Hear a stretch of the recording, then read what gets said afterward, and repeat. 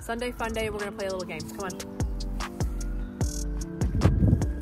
Getting ready for the week ahead, I'm doing a little organizing and I swear to God, I've celebrated birthdays with some of the tools that have been sitting on this truck.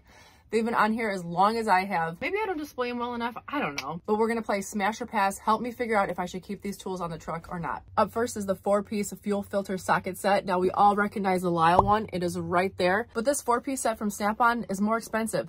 It's higher quality, but it's more expensive. And even though I haven't sold that many, I don't think I've ever warranted one of those. Greatest band ever. Saw them tour in 88.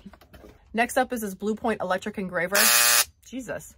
If you want to engrave your tools, have at it. But remember when you go to trade it in, the value might decrease if someone's name is scratched across it. The kit also comes with some stencils, so if you are going to engrave it, use the stencil, it'll look a little bit nicer. Smash or pass.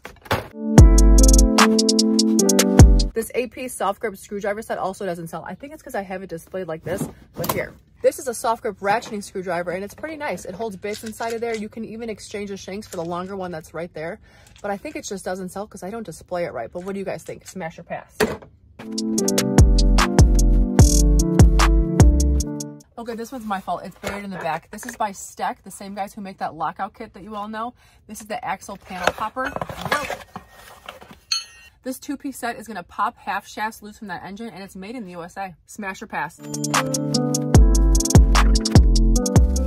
Okay, last up we have the three-piece multi-position pry bar set. Now, I don't know why this hasn't sold. With these pry bars, you can put the head into 17 different positions. Is that too many positions for you guys? Is that a little intimidating? Or is it the price point? You tell me. Why has this been sitting on my truck? Smash or pass?